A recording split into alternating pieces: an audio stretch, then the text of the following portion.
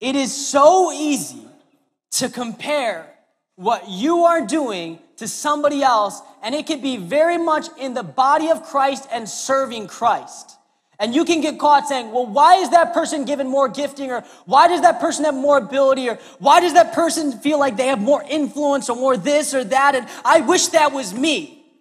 Can I tell you something? One of the most important lessons I've learned in serving, and that's helped me with comparison within ministry, is that I need to be faithful with what God has given me.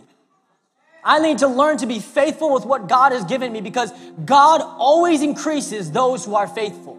And so you might look at what you have and despise the little that you have, but I rebuke that and say, you need to start looking at the little that you have as your opportunity to rise in the kingdom of God and serve Him with faithfulness.